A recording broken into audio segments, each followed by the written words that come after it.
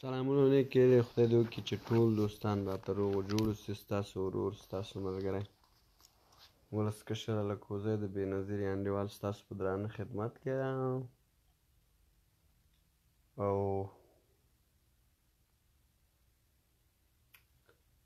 د لوی ذات څخه ستاسو بریا او کامیابي غواړم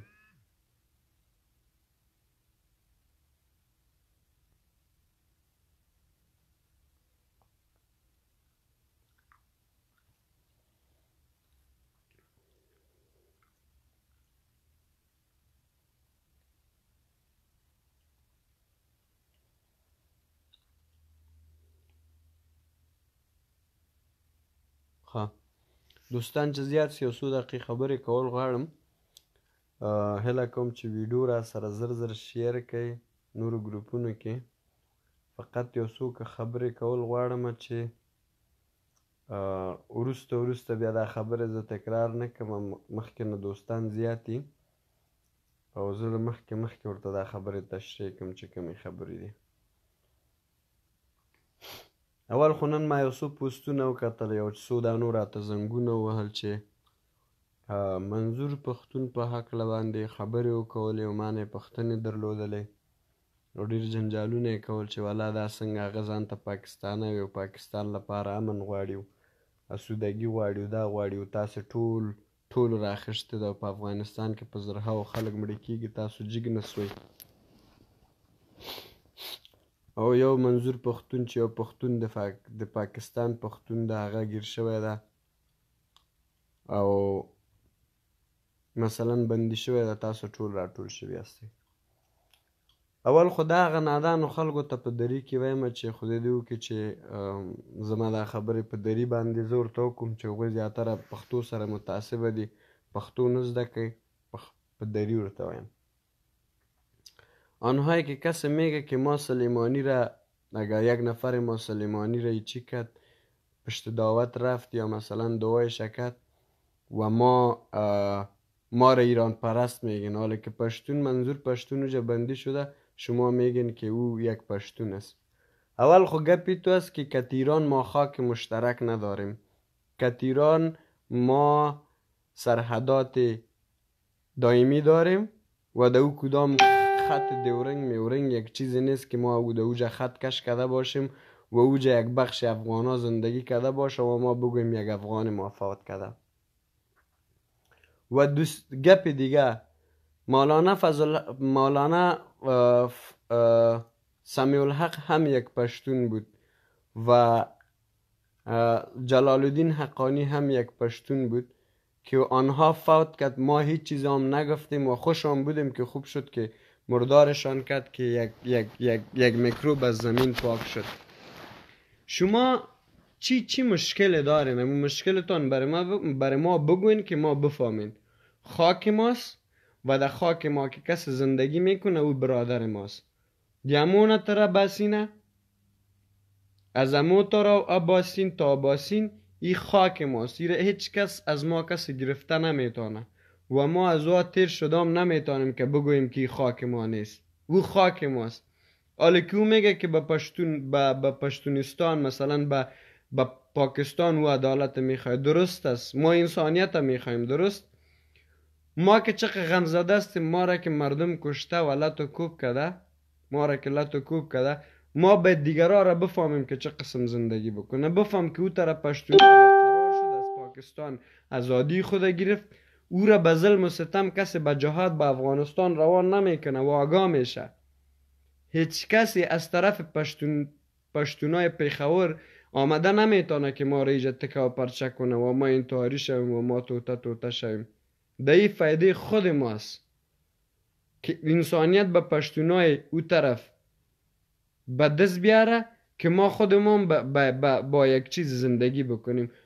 و گپای لابالی نزنن که شما اگه ترقین میگن که پشتونا یک جای میشه سر ما ظلم میکنه این گپ دروغ است ما هیچ وقت ظلم نکردیم ما همیشه شما را داغوش گرفتیم ما بر شما برادر گفتیم ما بر شما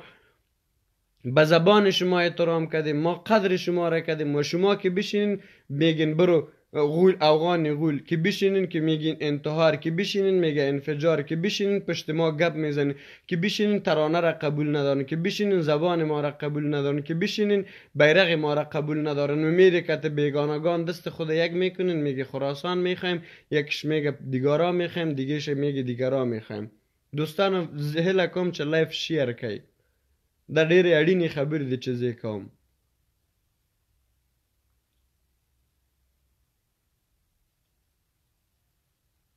زما لایف شیر کړئ زه د هغه چا لپاره خوله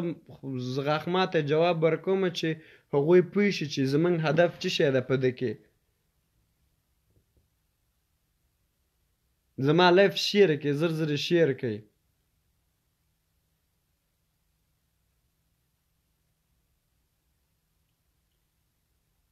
خاوره زما خاوره ده اوس راسره افغانیت مني اوس راسره شرافت مني اوس راسره عزت مني زما خاوره ده د خاورې په سر چې هر څوک هلته ژوند کوي هغې لپاره زه به عزت غواړم او زه به شرافت غواړم او ما لیکلي چې زنده زنده باد انسانیت که چیرته سلیماني یو انسان وای او د انسان د پاره کار کړی وای او غره جګ شوی وای د ایران د ظلم یو څه غوښتي ما به ویل چې ولا رښتیا خو سړی مړ شوی د موږ به په غم باندې اخته شوی یو اما که سلیمانی په خلک په جهان کی وژنی او تروریستان زما وطن ته لیږی ته هغه نشی لمانځلی هو هر هغه څوک چی د پیښور په خوا کی پښتونخوا کی پښتانه پراته دی که هغه منږ ته انتحار انفجار راولیږی او یا خپله په انتحار او انفجار کی لاس ولری زه به بیا د هغی په خلاف یم. خپله خو مغول کونه کې بیادبي دي مافې بند دي د چا په وړاندې باندې غږ نه شي پورته کولای هغه چې د ایسه د سینې لاندې پروت د غږ پورته کې چې تاش کې دهشتګردي د هغه بندي کیږي او بیا تاسو راځي مفت مفت خبرې کې لیکي زنده باد زنده باد یووالی زنده باد شرافت زنده باد عزت زنده باد غیرت افغانانو خلکو ته نړۍ ته مو وښودله چې تاسو یو وي ناستئ دغه مینه هیڅکله تاسو مه پریږدئ که دغه مینه او په دغه وخت کې تاسو خپلواکۍ د پیښور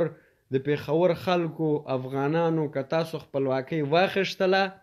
که تاسو په دغه وخت کې خپلواکۍ واخښتله نو زنده باد دي هميش به تاسو خپلواک اوسئ که په دغه وخت کې چې يو پنجابک راځي ستاسو مشر ليډر ته يا ستا پښتون ته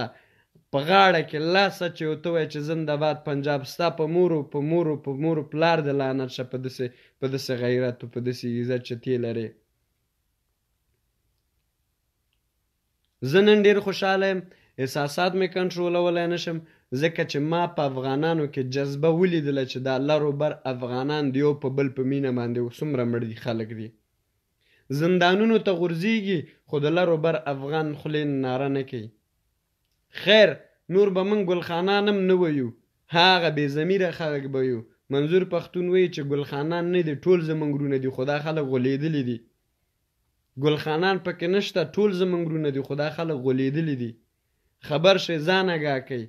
ځکه د دې چې پښتون یم خیر ده په ما غیرت وکړه زه دې ووهل شم زه دې وټکول شم په خپل پښتون خو دې غیرت وکړه چې تا لپاره ازادي غواړي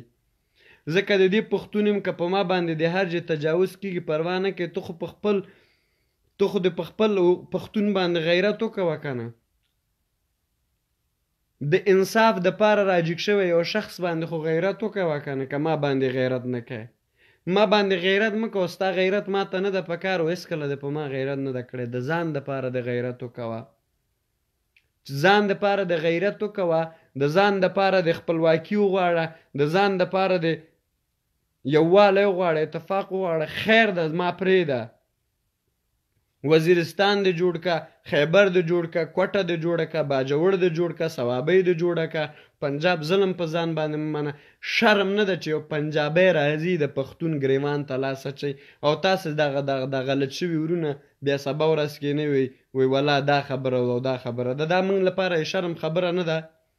که موږ يو قوت وای، که موږ يو غيرت وای، که موږ يو عزت وای، که موږ يو طاقت وای، که موږ يو بل سره ورورولي ګڼلای، که موږ يو بل سره خپله وينه ګړلای، که موږ يو بل ته خپل ځان ويلای، نه به ته ګريوان نه کش کېږی کېدلي، نه به زه د خلکو توطيه کېدلم، نه به زه چا مړ کولم. که زما په نوک باندې درد وای او تا دغه درد هلته حس کولی یا په تا باندې درد وای دا درد ما دلته حس کولی هلته به شوی وو ورورولي هلته به شو رفاقت هلته به نړیوال پوه شوي وای چې ګورئ دا خلک د وهلو نه دي دا د وژلو نه دي دا ډېر تکړه خلک دي او دې خلکو سره چیړ میړ هم مه کوئ دې خلکو سره جنجالونه هم مه کوئ دا ډېر دا ډېر په اتفاق قوم ده په کرښې باندې خو زما وینه نه بیلیږي په کرښې باندې خو زما خاوره نه بیلیږي سبا به یو څوک راځي زور و ستم به راباندې کوي په کابل کې به په کابل کې به راته کرښه اچي ننګرهار خو ننګرهار به یو خواته کوي خوست به بلې خواته کوي بیا به زه بیلیږم هیڅکله به زه نه بیلیږم که زما یو وینه که زما یو وجود که ما کې غیرت که ما کې عزت که ما کې شرافت زه به ستا په درد باندې ودردېږم هر کله چې ته زما په درد باندې ودرېدل ستا په درد باندې زه ودردېدلم رضوان خان لیکي چې پنجاب I love you وروره تا ته د مغه پنجاب مبارکي ځکه ته ملامت نه ته غولېدلی تا تا ته د همغه پنجاب تا ته د همغه پنجاب مبارکي ته خو لېدلی یې تا ته د همغه پنجاب ملامتي نن چې تا ایله بي وای نن چې منظور پښتون له ګریوان نه نیولی همدقه شی مې خدای نه غوښتي دي چې ستا پلار د ګریوان نه کش کړي نن چې زما پښتنه خورې په سواتو په کالامو په په وزیرستان کې ارمي کشکاږلې ده همدقه شی مې غوښتي چې څوک ناري وهي چې زنده باد زنده باد پنجاب پهمدقه شی مې خدای نه غوښتو چې خویندې میندې ورته پنجاب راکش کړي بیا به هلته تاته معلوم شي چې منظور پښتون د سیوادي سړی نه ده ای د منظور پښتون هغه مسکا ای د منظور پښتون هغه جرات ای د منظور پښتون هغه غیرت ای د منظور پښتون هغه غغغ زمري غوندې سترګې.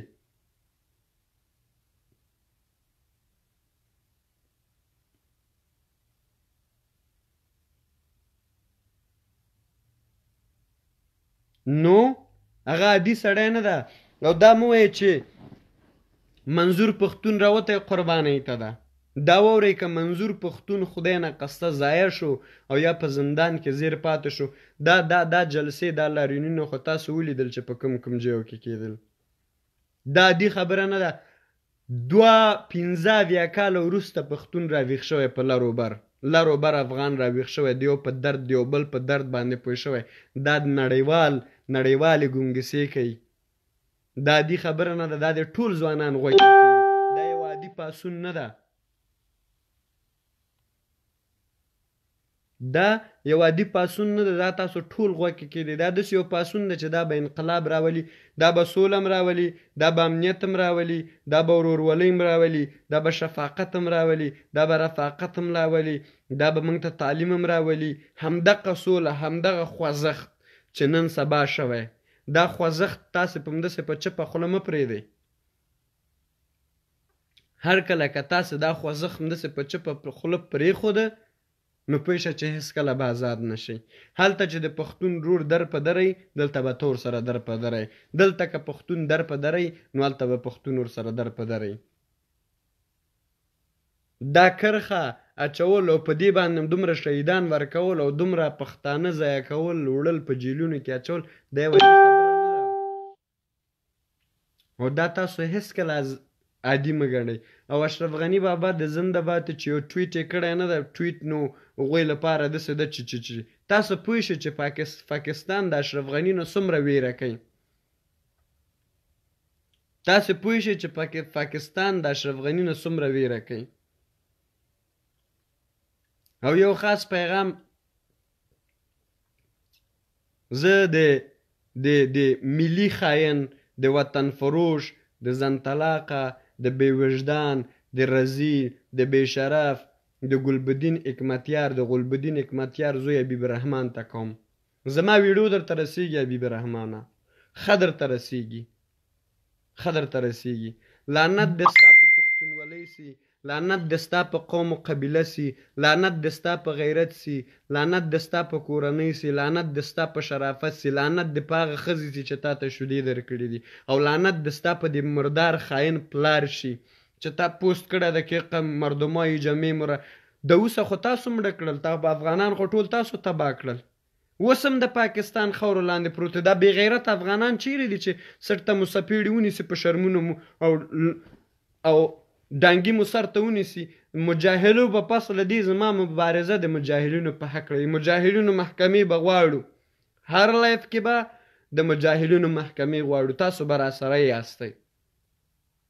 تاسو به راسره یاستئ، خپل غږ به هم پورته کوو، د پنجاب د ظلم غږ به هم پورته کوو، افغانانو باندې به غږ هم پورته کوو چې موږ باندې څوک ظلم کوي او د د د د د د د د مجاهل لپاره هر هغه چا چې د افغانستان خلکو لپاره خیانت کړی نړیوالې ګونګسې هر ورځ به په دوی خبرې کوو، هر ورځ به پرې راځو او هر ورځ دوی به موږ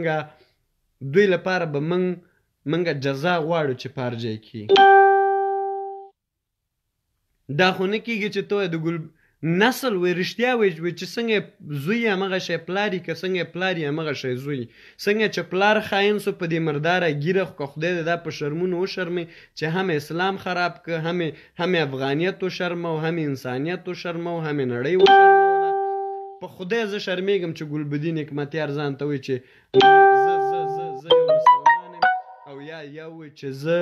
زه یو انسان یم او یا وای چې زه زه زه یو افغان یم یو پښتون یم شرمېږم زه په دې باندې د افغانانو د پاره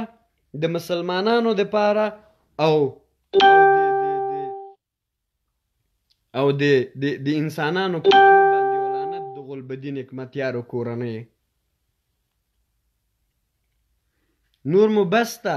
هر هغه څوک چې موږ چا وژلیو د هغې باید محکمه وغواړو ګوره د محکمو د محکمو وخت رسېدلی، هر هغه چا چې مو مال غصب کړی ده، هر هغه چا چې تاسې موږ ته په ګوته کوئ، تاسې موږ ته په ګوته کوئ چې موږ په خارج کې ناست یو، موږ ته هم ګوته کوئ. دوستانو لایف شیر کړئ، هیله کوم لایف شیر کړئ.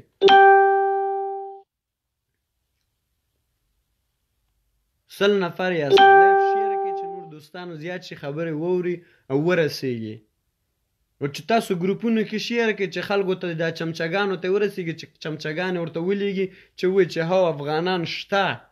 که په خارج کې که په داخل کې که په هر ځای کې ستاسو په وړاندې دريږي او ستاسو د محکمې غږ به غواړي موږ نور په داسې چپه خوله باید کینو چې هر وخت په چپه خوله کینو او وایو چې انډیوالان ځان نور خیر و خیرت ده خیر د کابیب رحمان ده او که خیر د ګلبدین ده او که خیر د پلانه ده او که خیر د بستانه ده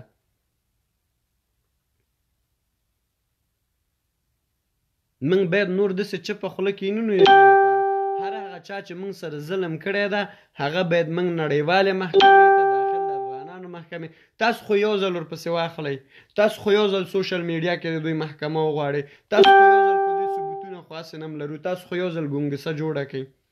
تاسو خو شروع کوئ چې پلانی پلانی پلانی پلانی موږ سره ظلم کړی ده د دې محکمه غواړو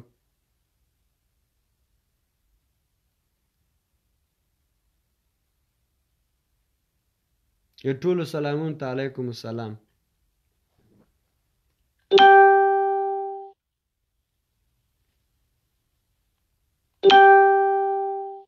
یو ځل بیت منګه دوی پسې ریشو یو ځل نه بیت هر ورځ ریشو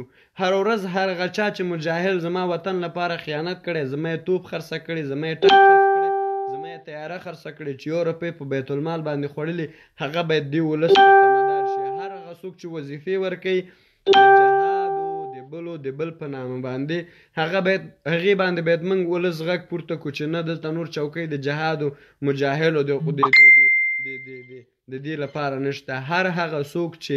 زده کړه لري هغه هر هغه څوک چې وطن ته وفاداري زه ګوندونه مندونه نه منم چې پلاني ګوند ته د دونه چوکۍ ورکړي شي پلانې ګوند د دل تخته شي زما ګوند هغه ګوند ده چې د وطن د پاره کار کوي زما ګوند هغه ګوند ده چې د ولس د پاره کار کوي زما ګوند هغه ګوند ده چې د ملت د پاره کار کوي زما ګوند هغه ګوند ده چې د انسانیت د پاره کار کوي زما ګوند هغه ګوند ده چې د شرافت د پاره کار کوي زما ګوند هغه ګوند ده چې حیواناتو باندې رحم وکړي، نباتاتو باندې رحم وکړي، کاڼو باندې رحم وکړي، بوټو باندې رحم وکړي، هغه ته زه ګوند وایم، هغه ته زه لارښود وایم، هغه ته زه رهنما وایم، هغه ته زه هر شی وایم، هغه که هغه زما د تن وینه هم وغواړي زه یې د وینې له سره قربانوم. ټولو سلاموته علیکم السلام. په ښکاره ډول ماته غلامان ناست دي په ښکاره ډول په ښکاره ډول ماته خلک ناست دي په ښکاره ډول زما په ملک کې جاسوسي کوي موتا ناری وو پاکستان په سناریو موتا هندوستان په سناریو موتا چین په سناریو موتا جاپان په سناریو کوم کومه ورځ موږ د دې په مقابله کې راجیګ شو بغیر د یو ځوان نه چې په هرات کې جار شم بوټ ورپسې وارکه ګلبدین باندې مونږ خو ټول پښتانه ورپسې منډي وو خدای ته وګورئ دا قوم پرستی مو پرېږدئ دا پښتون نه تا لپاره دوا ده نه ما لپاره دوا ده هر هغه پښتون چې د پردي ملک ډوډۍ وخوړلې هر هغه پښتون چې د پردي ملک مالګه یې وڅټله هر هغه پښتون چې پردیو لپاره وفادار پاتې سو هغه پښتون نه ده هغه د هیرا منډۍ اولاد ده هغه به هیڅکله تاسو په دې کې نه حسابوي.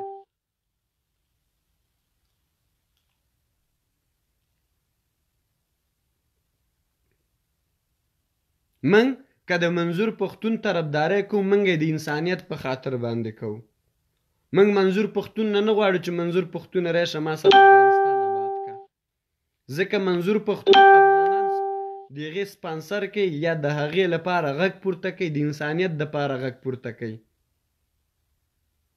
که د منظور پښتون لپاره موږ غږ پورته کو صرف د انسانیت لپاره غږ پورته کو صرف د خویندو میندو اوښکو لپاره غږ پورته کو موږ خو نشو کولی په موږ خو نړیوال لګیا دي موږ باندې خو د جهان قدرتونه لګیا دي موږ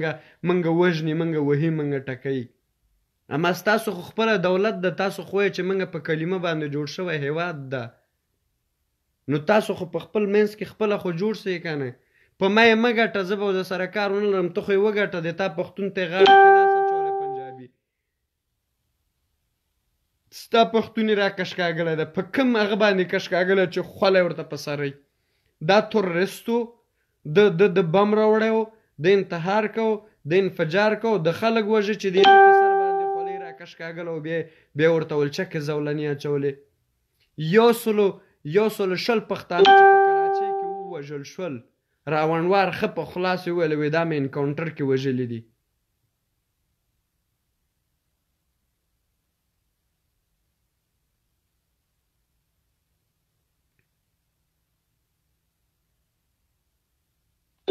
راونوار نه چا ورته زولنې واچولې تاخرې مرحلې پورې نر غوندې داسې ننوته نر غوندې راوته نر غوندې وته نن غوندې راوته افسوس پښتونه خوشحال خان بابا ته بس جواب ورکې افسوس پښتونه میرویس خان بابا ته بس جواب ورکې افسوس پښتونه ملنګ جان بابا ته بس څه څه جواب ورکې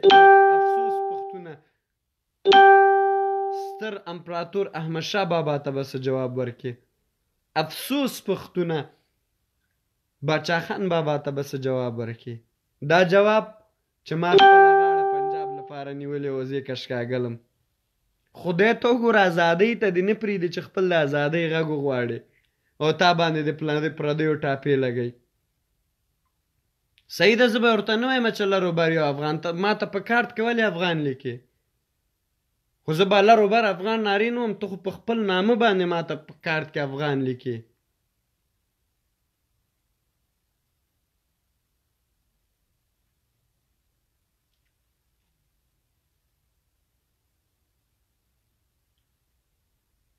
کله چې ته په خپله ته چې په خپله په خپله ما ته په کارت کې افغان لیکې او بیا ما ته چې د لرو بر افغان ناره مو وهه محسن داوړ وویلې محسن داوړ ویلې وې اشرف غني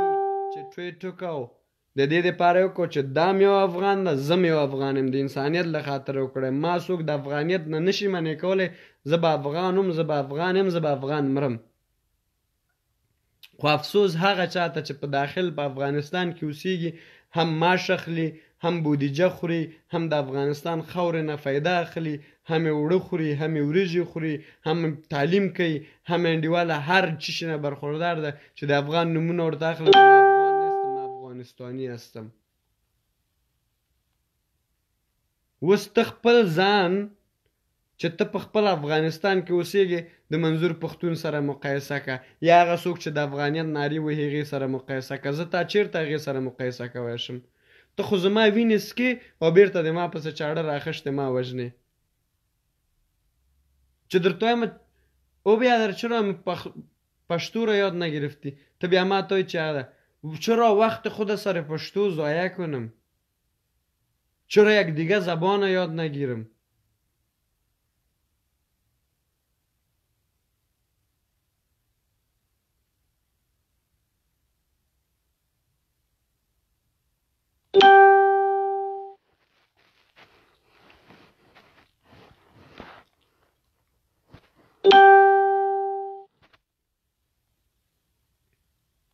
نو اوس دلته دا مهمه نه ده چې زه دا تا سره پرتله کوم چې څوک ما سره د افغانیت ناری وهي چې افغانیت هېڅ ورته کم فایده هم نه ده رسېدلی صرف په نوم باندې افغان پروت ده ظلم و ستم لاندې پروت د اوسم د افغان نارې وهي او که ته ما سره په داخل د افغانستان کې اوسېږې ډوډۍ مېم خورې اوبه مې څکې هوا نه مېم فايده اخلې مکتب هم ده بوديجه هم هر شی تا ته مفته ده راځي درته او بيا هم وايې چې ما افغان نېستم افغانستاني هستم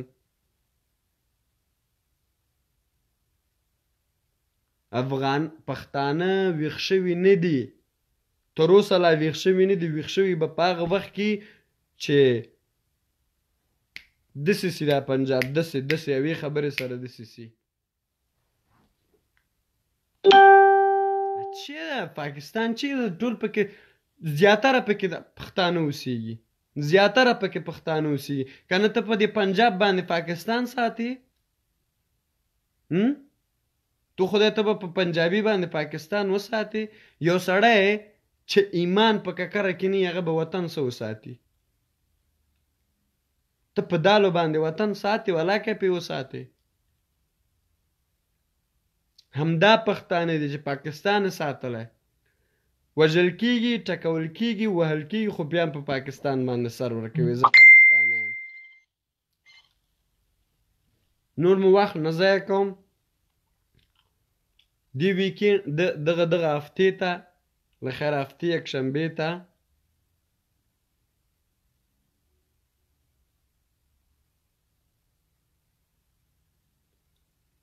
ډیره مننه ډیره مننه ټولو دوستان نه دغه هفتې ته به له خیره سره ښه قوي لایف کوو او ښه د خوشحالۍ احساسات به مو پکې بیانوو او خاص خاص سلام زما خاص خاص سلام زما خوستي ځوانانو ته خاصه خاصه مینه د زړه له کومې مینه د خوستي ځوانانو ته د خوست مجلس ته د خوست جرګې ته د خوستوالو مینې ته چې هغوی څومره مینه وښودله او څومره څومره په مینه راټول شوي وو، هر هغه چا چې د پښتون، د افغان، د مظلوم ملت لپاره غږ پورته کړی ده، الله تعالی دې ورته اجرونه ورکړي او خاص خاصه مننه د هغه خویندو نه کوم، د هغه ملالو خویندو نه کوم، د هغه پښتنو، د هغه افغانانو خویندو نه کوم چې هغه د کابل په ښار کې ما ولیدل او نارې ویلې چې لر و بر یو افغان، لر و بر خویندو زه په تاسو باندې ویاړم، خویندو تاسو زمونږ بازوان استئ، خویندو تاسو زمونږ انرژي استئ، خویندو تاسو چې زمونږ څنګ کې ناست یئ مونږ هیڅ نه یو. ښځه د انسان لپاره په ټولنیز ژوند کې مهم رول لري، ښځه باید ما سره سیاست کړي، ښځه باید ما سره په ژوند کړي، ښځه باید ما سره په مدرسه کړي، ښځه باید په هر چشي کې ما سره ونډه واخلي. په هر چشي کې ما سره ښځه ونډه واخلي. ځکه بېغیر د ښځې انسان نیمګړی ده. همدا ښځه ده چې احمدشاه بابا یې روزلی ده. همدا ښځه ده چې زه او ته یې روزلي یو، رالوی کړي یو. همدغه ښځه ده چې موږ ته یې نېکې نېکې مشورې راکړي دي. همدغه ښځې دي چې په موږ باندې سختیانې تېرې کړي دي. همدغه ښځې دي چې په موږ باندې بې حده زموږ بې ادبي دي ماپې هر شیان پاک کړي دي. ښځو ته باید بې ساره مینه ولرو، ښځو ته باید احترام ولرو او هغه خویندو ته چې په کابل کې بیرغونه جګ کړي وو او نارې ویلې چې لر و بر یو افغان، سور سلام دی خویندو تاسو ته، تاسو واقعیت هغه ملالې یاستۍ چې په جګړه کې تاسو جنګیدلې یاستۍ. تاسې هغه ملالې استئ، د هغه ملالې اصلي بچيان ياستئ چې تا هغې غږ کړلې، که په سنګر کې شهيد نه شوې، خدای ګلاليه بې ننګې ته دې ساتينه، د همغې ملالې مورکۍ غږ و چې مونږ جګړه وکړو ګټله، که تاسې خويندې مونږ سره اوږه په اوږه ولاړ ياستئ، که تاسې خويندې مونږ ته انرژي راکوي، که تاسې خويندې مونږ سره همېش غږ پورته کوي، مونږ به په دنيا په هره برخه کې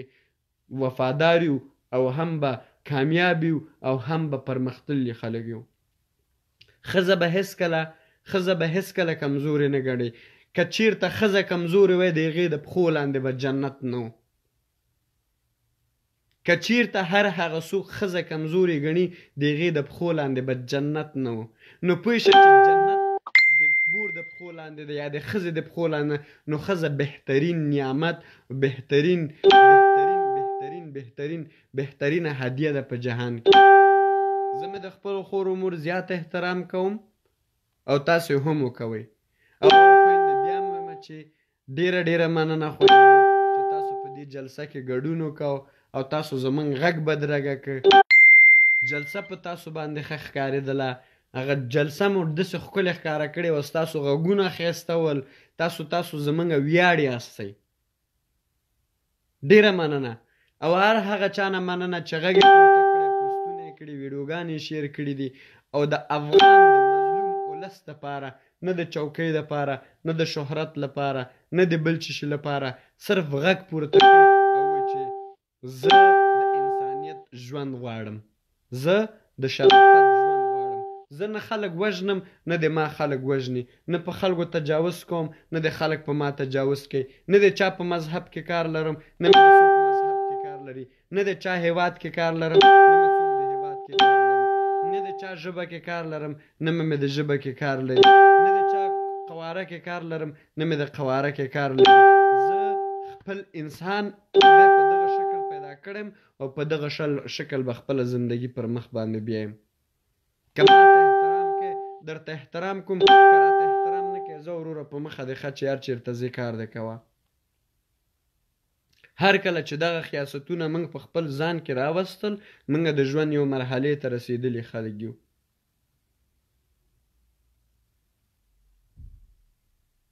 هر کله چې موږ دغه مرحلې ته ځان ورسو موږ بیا موږ موږ موږ بیا موږ یو خلک یو ټولو سلامو ته علیکم السلام نو زه دا وایم چې هغه ناراضه ورونو ته وایم چې په پیښور کې ناری وایي پنجاب زنده باد ما مه ګټه پنجابۍ نه ځان وګټه ما مه ګټه خوشحال خان دې وګټه ما مه ګټه امیر عبدالرحمن بابا وګټه ما نه مه ګټه باچا خان بابا وګټه ما مه ګټه اچکزی وګټه محمودزی وګټه یوسفزی وګټه ځان دې وګټه زه که په دریش که زه په اته دیرش میلیونو کمزوری یم خو په ما باندی هیوادونه لګیا دی جنګ کوي ما هیوادونه وژنی ما با نړیوال قدرتونه مو اوس دمه ته نه پریدی ظالمه ته خو ما په دوچن پښتون هلته پروت یی ماته خو په داخل د افغانستان کې پیدا شوي خلک دي نه زما هویت مني نه زما غیرت مني نه زما عزت مني هم هر چې شته هم را نه خوري هم سکي نه ستوړي مار راته جوړ شوی نو تاسو خو تاسو خو وایئ چې پلانی زما ورور بستانه مه پرېږدئ چې په په په په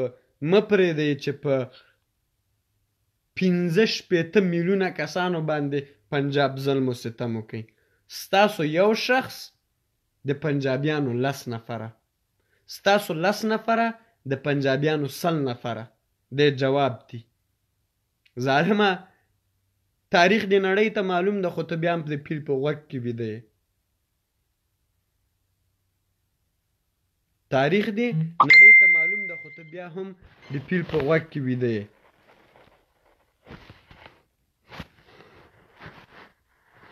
د پیر په غوږ کې مه ویده کېږه ځان د بیداره کا لکه څنګه چې د اوس ځان بیداره کړی و همدقه شه د ځان بیداره کا دومره وخت خو اوسیدلې پنجاب سره. څومره خو اوخدلې پنجاب سره پنځه اویا کاله پنجاب سره دې وروري اوکوله په پنځه اویا کلو کې ته تې ازادي غواړې ته خپلواکي غواړې ته وې چې زما په ناموس تې تجاوز نه کیږي ما باندې دې څوک نه راوړي ماته مې خپل حقوق راکړه ماته مې خپله ژبه راکړه په پنځه اویا کلو کې پنجابی ستا ورور نه شو.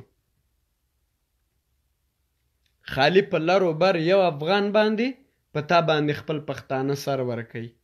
ومو لیدل ثبوت مو کړه کنه د پیښور پښتنو تاسو ته خو افغانانو ثبوت کړه پښتنو د دی خوا د افغانستان پښتنو خو تاسو ته ثبوت کړه کنه صرف په یو ناره باندې چې تاسو نارې کړل لر و بر یو افغان دوی خپل وینې ټولې تاسو ته په زړه کې ونیولې دا زړه یې راوښکه تاسو ته په لاس کې درکه په افغانستان که دومره خلک وژل کیږي خو زمونږ خویندې نه وي راوتې تر اوسه جلسو لپاره دومره خلک په افغانستان کې وژل کیږي شهیدان کیږي مګر هم زمونږ پښتنې خویندې نه وي وتې صرف د تاسو د یوې نارې لپاره چې زمونږ لیډر یا منظور پښتون یې ګرفتاره کړی خویندې میندې ټولې راووتلې سوشل میډیا ته. نو اوس ته په خپله چې څوک پنجاب زنده باد نارې وهي ته خپله دا مقایسه که زه تاسو ته هیڅ شی نه وایم زه تا زه د پیښور پښتنو ته هیڅ شی نه وایم دا د خپله دا مقایسه کې د پیښور پښتنو د ټولو سلامو ته علیکم السلام تاسې خپله دا مقایسه کړئ چې ګورئ پنځه څلوېښت پنځه اویا کاله تا د پنجاب سره وروري وکوله ستا ژبه نه مني تا ته دهشتګر وایي تا نه تا نه یې هره بلا جوړ کړي دي کلنډر یې ته کړې ډریور یې ته کړې پسې راتېر شه چوکیدار یې ته کړې هغه نومونه او دغه نومونه درباندې ږدي او ګو افغان ګوم درته نارې وهي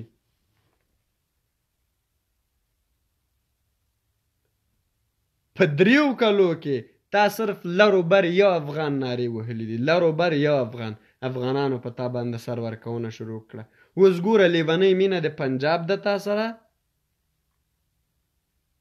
او که لیونۍ مینه تا سره د افغانانو ده او بل تا نه افغانان چې نه غواړي تا کې خپله چېشته نه چې تا نه به افغانان چې وغواړي تا نه به افغانان چی وغواړي ته چی لرې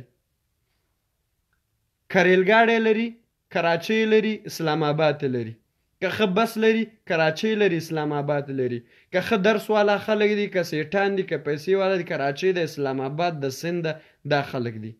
ته چی لرې ته خو ټول عمر سعودي کې بېچاره پروت یې، ما غوندې مسافر پروت یې سعودي کې، سعودي کې ټول عمر مزدوریانې کوې. اوس ته ماته وایه ته څه شی لرې چې زه په تا باندې ونازېږم؟ یو شی لرې چې ستا ژبه پښتنه ده، زما ژبه پښتنه ده.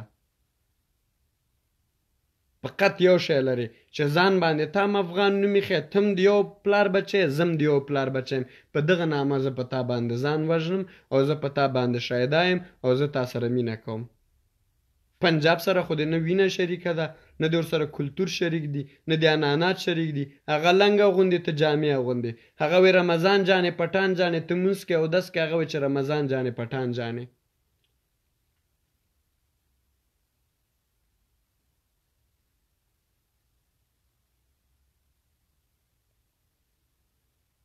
نو اوس اوس تاسو د پېښور پښتنو دغه ویډو صرف او صرف د تاسو د پاره دا ده ځکه دکې نه ګل خان یادوم نه مل خان یادوم نه چاته بده خبره کوم ځکه زه نن ډیر خه خه خه خه ای تاسو خبره خه موټ کیم ډیر خه ولی چه ما دا جلسی ولیدلی او منظور پختون خبره می ورده منظور پختون ولی چه ګل خان هیڅوک نشته ټول زمونږ ورونه دی خو هغه غولیدلی دی ته ګوره څومره د پوهې سړی ده څومره د پوهې شخصیت ده سم سم سمره سمره سمره دیو پختنې سمره دیو افغان اولاد ده دا نو دا وروره زوړ نه ده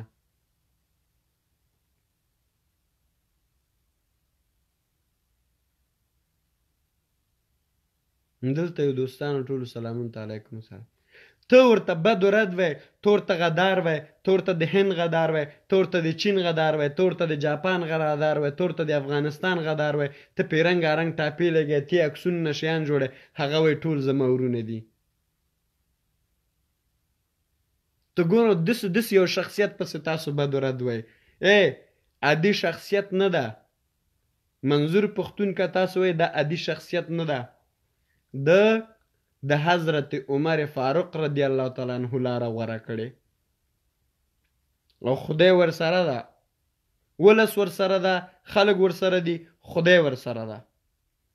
دا یو عادي سړی نه دی که تاسو وایئ عادي سړی.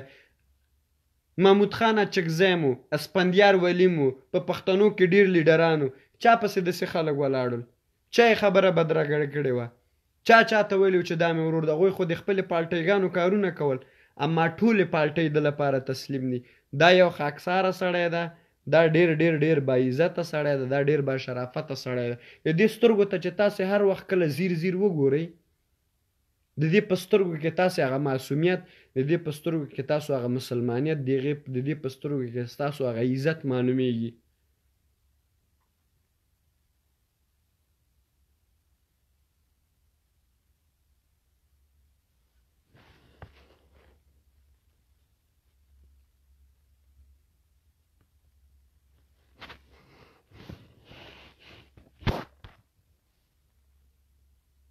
نو اوس زه دا خبره ټوله پرېږدم ځکه وخت هم ناوخته ده زه ویده کېږم سبا به کار ته ځم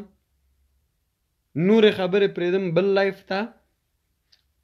چې رانوی لایف به له خیره سره د هفتې په ورځ کوو هغه کې به خپل احساسات ډیر په لوړ اواز باندې تاسو سره وایم د پښتنو سندره به هم درته غږوم دا څنګه ازادي ده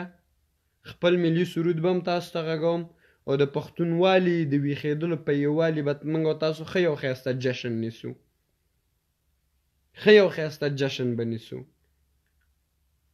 اتڼ به هم پکې کوو، ګړاګانې به هم پکې کوو، هر کار به پکې کوو د پښتون د ویښېدو دپاره.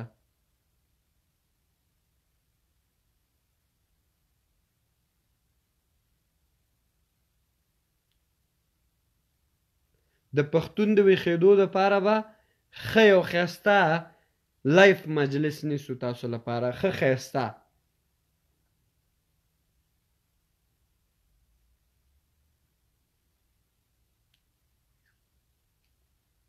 نور مو په پاک او بخونکي او سپېڅلي ذات سپارم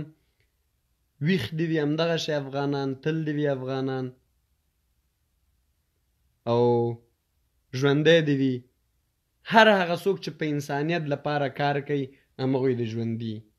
که هغه د هر مذهب او د هر لپاره یې صرف د انسانیت لپاره کار وکړي چې انسان وژنه ونه کوي په رحم په نباتاتو وکړي رحم په حیواناتو وکړي رحم په انسانانو وکړي همغه خلک د ژوند باتي هر هغه څوک چې ما وژني تا وژني نبات وژني کاڼی وژني بوټی وژني په هغه دې لعنت وي که زما او ستا ورور وي که هر څوک وي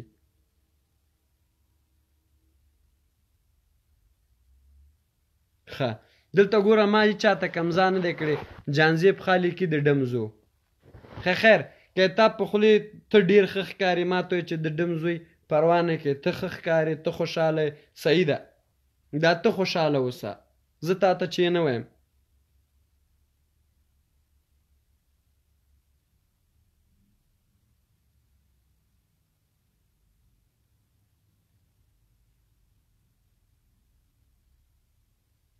هر هغه څوک چې بد کنزل کوي هر هغه څوک چې بد کومنټ کوي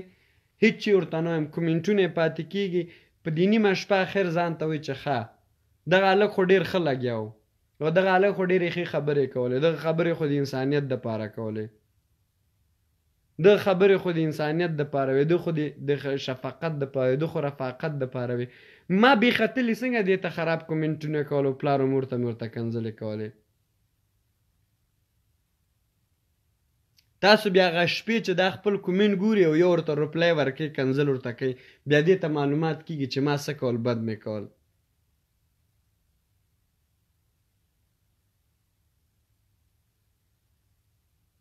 په هغه وخت کې دې بې وجدان ته معلومات کېږي چې ما څه وکول بد مې وکول یو کومنټ مې ولیکل یا مې بده خبره ولیکله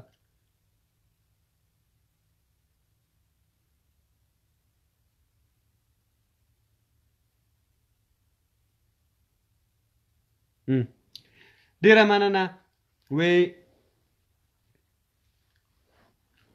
دا بعضې خلک وایي چې خدای جل جلاله وویل چې هدایت زما په لاس کې ده تاسو صرف تبلیغ کولای شئ د هر چی شي هدایت زما په لاس کې تاسو صرف تبلیغ کولای شئ نو زمونږ تبلیغ هدایت د رب لاس کې ده موږ بد کار نه غواړو موږ بل شی نه غواړو موږ صرف انسان وژنه بنده غواړو هر هغه چا چې خیانت کړی د هغې بیت محکمه یو سوال کوم تاسو به راسره وایې چې هو او نه افغانانو لپاره یو سوال چې اوس نه شروع کیږي سوال مې دا ده ایا تاسو موفق آستئ چې پس له دې زمونږ خپرونې صرف او صرف هر هغه چا چې زمونږ انسانیت، غیرت، شرافت او انسان وژنه کړې د هغې محاکمه وغواړو؟ که په انګلیسي ژبه یې، که په پښتو ژبه یې، که په هره ژبه یې، پس له دې هر لایف، هره منطقي خبره مو د دوی په هکله باندې. تاسو ما ته ووایئ چې هو یا نه ما سره په دغه مبارزه کې چې اوس پس له دې خبره دې ته رسېدلې چې زموږ افغان ولس ویښ شوی ده، لر و بر افغان ولخ ویښ شوی،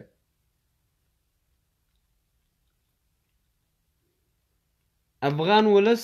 اوس لر و بر ویښ شوی اوس زمونږ خبره دا راغلی چې مونږ څنګه هغه خاینینو چې زمونږ توپ، طیاره، ټانګ، سرباز، عسکر، خاوره، ناموس هر شی خرڅ کړي د هغې محاکمه وغواړو. ایا تاسې په دې خبرې راسره موفق استی چې دغه دغه دغه دغه خبرې مونږ په وړاندې باندې بوځو؟ ښه زنده باد غاپې دي بعضې بعضې دی غاپې هغې پسې به نه ګرځو مننه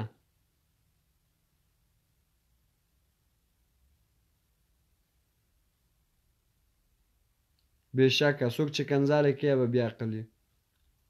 خوستی صاحب مننه ډېره مننه تاسو سره زه هم مینه لرم. ډیره مننه سل فیصده ډیره مننه ډیره مننه ډیره مننه ټولو دوستانو نه ډیره مننه یعنی تاسو وعلیکم السلام نقیب نقیب تګیوال صاحب زه غواړم چې زما ګورئ اخرنۍ خبره کوم بیا قطع کوم په دې باندې چې هره خبره کوم اخرنۍ خو بیا لایف زیاتیږي زه غواړم چې تاسو را سره یو شئ ملګري شئ بغیر د تاسو زه هیڅ یم زه صرف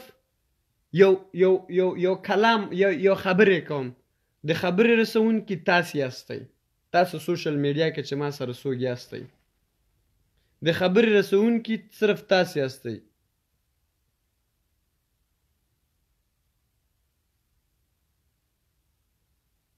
فاتح خان ستړی مشوروره زه صرف خبرې کوونکی یم یا مشوره ورکوونکی یم، یا یو چا نه څه زده کوم او تاسو ته یې لولم، یا به پنځه کسو سره کښېنم، یا به مطالعه کوم، یا به مو څه لیدلي، یا به مو کتلي، هغه تاسو سره شریکوم. تاسې هغه خلک یاستئ چې زما غږ خلکو ته رسوئ. وعده راسره کېږي چې هر کله لایف ته راتئ، لایف شیر کوئ. هلته به زموږ مبارزه رنګ اخلي هلته به زموږ مبارزه رنګ اخلي دا تاسو ومنئ زه نور پيجونه نه جوړوم ځکه زما پيجونه خرابيدل ايډي څوک نشي خرابولای اوس هم دغه ايډي ده هلته به زموږ مبارزه رنګ روړي چې زموږ يو لایف ته تقریبا لس زره کسان کینی او زموږ خبرې ووري هغه به ستاسو په کومک باندې کیږي هغه به ستاسو په مرسته باندې کیږي هغه به تاسو خلکو ته رسوي او دا به تنه صرف د الکوزي غږ نه دا به صرف د الکوزي غږ نه وي، دا به ستاسو غږ وي.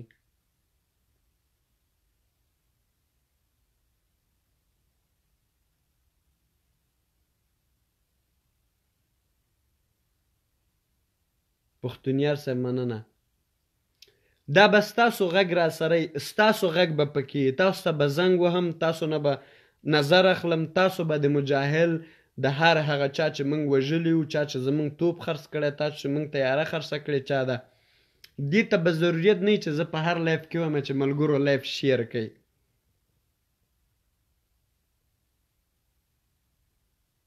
دې ته به ضروريت نه يي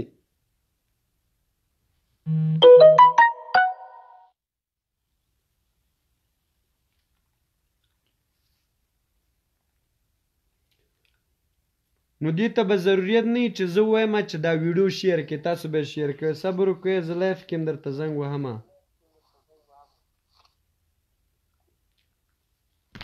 فقط دغه ته ضرورت مه پېښوئ دغه ته ضروريت مه پيښوی چه زه تاسو ته يم زما ليف شير کوي تاسو چه راتلی راسره يوجای کيږی زما غږ پورته کوی دا ږيره به په متيازو خريلی زه تاسو ته وايم دا ږيره به په متيازو خريلی که ما درته مجاهلينو محاکمی ونه غوښتلی او دا خلک راجيګ نه شو دا محاکمه نه شو بيا ما په مخ لاړی توکی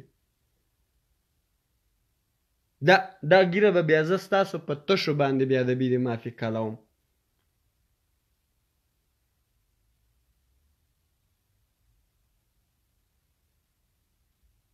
راځئ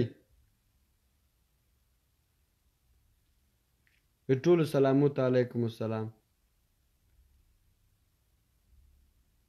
آفرین کما ما نه تاسو که تاسو که تاسو دغه چه تاسو توپ و طیاره و ملی اردو و ټانګ و دا شیانی خرڅ کړی دی که تاسو دغه خلک دغه خلک محکمی ته نه کړل او دغه خلک مو په شا نه کړ او دغه خلک ستاسو سوکانو د ډانګیو لاندی رانغله بیا ما په مخ تو لاړی تو که تا به ویل چه الکوزیه ته ډیر پست سړی خو دا ټول د تاسو په مرسته باندی کیږی او خدای رسول مذهب چې هر شئ هغه زه تاسو ته مخکې کوم چې هر چا پسې منډه مه وهئ.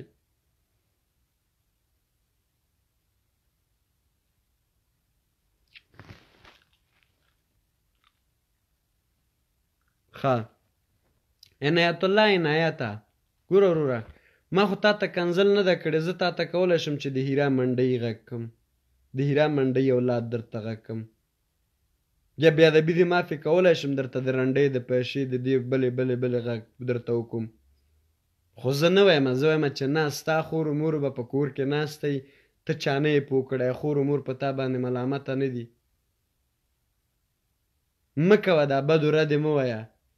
م دلیل باندې خبره راسره وکړو چې زه درته ولولم زما ته که ته روس اولاد وای که ما ته جاپان وای که بل وای که بل وای هیڅ فایده دې لاس ته نه راځي او موږ دې خبرو نه شاته کیدونکي نه یو نو هیله کوم وروره که زه ستا مورکۍ ته دلته په دې لایف کې کنځه وکوم او دا دومره کسان دلته ناست دي کنه دا دوه سوه څو کسانه دي کله درې سوه سي کله څلور سوه که زه ستا خور و مور ته په دې څلور سوه کسانو مخکې عکس تم راواخلم او دسویم چه ستا هغه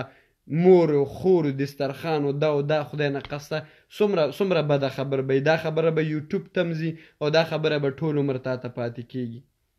نو مه کوه داسې کار چې سبا ستا مور او پلار لپاره په درد وخوري مونږ کړي کنځاګانې څه مو کړي څه مو لاس ته راوړي یقین په خدای کو چې ما به کنځل وکولې چاته به ډیر اعصاب خراب شو بیا به زه پښیمانه وم چې هلکه څه کنځل دې وکولې ده خو خور او مور ملامته نه ده همدغه سړی ملامت ده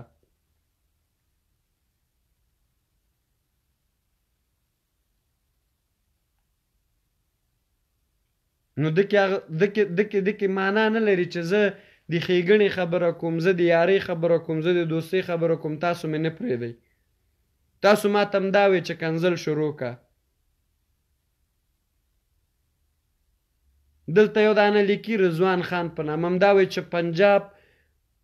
انډیا برادر پنجاب پښتون برادر پنجاب پلانه دا اوس خدا د چی په ما باندې وایي خو زه د قصه کې نه یم چې هر شی وایي وایي فقط دونه به د کم بلاک به د کم دغه د اعلابي پنجاب د کده بیا بیا ویلې رضوان خان بیا د بلاک کوم بیا به زما لایف نه شې کتلای خلاص دوغنه به یې چې زه به نه ما پوست کتلای شي نه به بل شی کتلای شي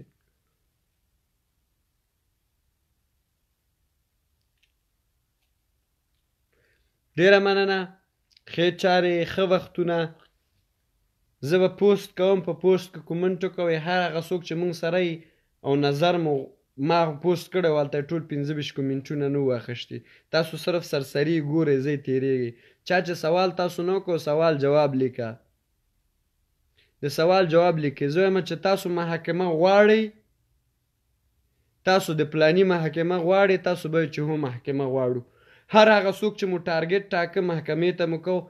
ته هغه به ډنګ ډنګو هر ورځ به ورپسی راځو هر ورځ به ورپسی پوستونه کو هر ورځ به خبری کو چی د هر چا ذهن خلاص سی او تر اوسه محکمه ته نه فرامده سی.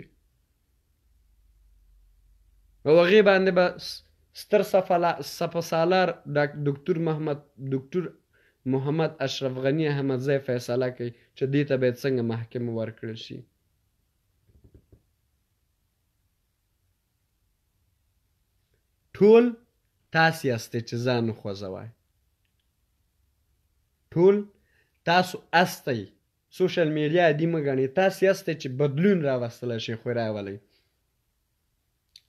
دیو ازاد سوله ایز افغانستان په هیله الله مو مل ښې چارې.